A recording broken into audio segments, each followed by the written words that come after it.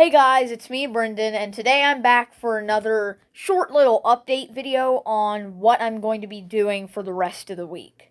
Now, to start it off, this Friday I'm going to be doing a Home Depot store tour for the 2022 season.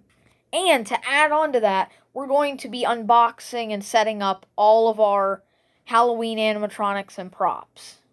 And as you can see, I'm wearing my Spirit Halloween shirt on this occasion.